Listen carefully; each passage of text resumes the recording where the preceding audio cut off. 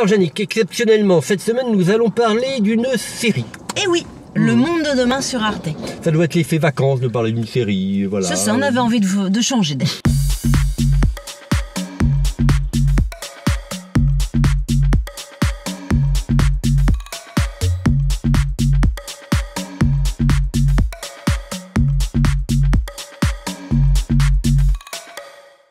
Une série en 6 épisodes, disponible sur Arte.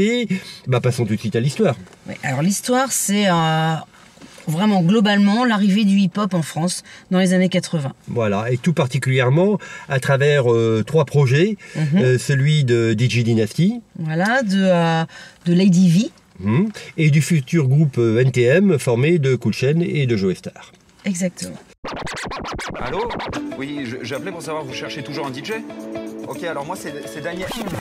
Ah, allô J'ai vu le futur là-bas.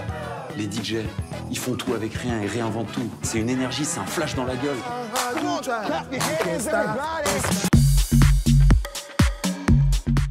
Alors, allons-y, quel pourrait être ton point positif? Alors moi, mon point positif, c'est vraiment l'aspect documentaire. Moi, j'ai vécu à cette époque. hein. J'étais, Ah bon? Oui, oui, oui, ben, je peux le dire maintenant. Dans les années 80, moi, c'est c'est toute mon adolescence, si tu veux. Et, euh, et j'ai vraiment revécu. Euh, nous, on était nous euh, réguliers, enfin tous les toutes les semaines devant euh, Sydney, euh, à chipper, à choper. Tu- tu- les, devant la les- télé Je dansais. hein. et euh, il y a aussi bah, la période des radios libres. Enfin tout ça, moi je l'ai vécu et je con- je confirme que c'était vraiment comme ça. Euh, oui, et puis il y a, y a ces versions documentaires côté artistique, tout, tout ce mouvement, tout ce bouillonnement euh, de la jeunesse.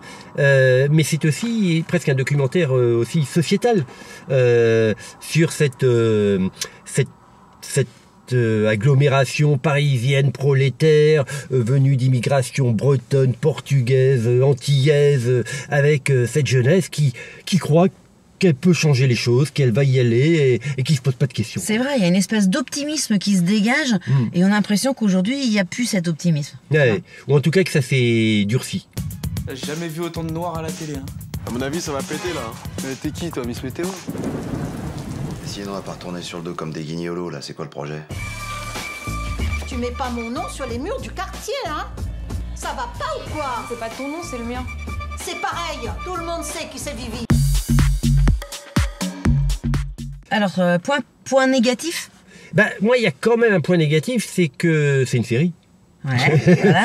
Mais non, mais par rapport au cinéma, je trouve toujours qu'il y a un moment, en fin d'épisode, euh, où, où le rythme se ralentit, quoi, qu'on qu'on- on Ouais. perd un petit peu de temps. Ouais, alors que moi, étonnamment, euh, je reste quand même sur ma fin. Euh, pour moi, six, six épisodes, c'était pas suffisant.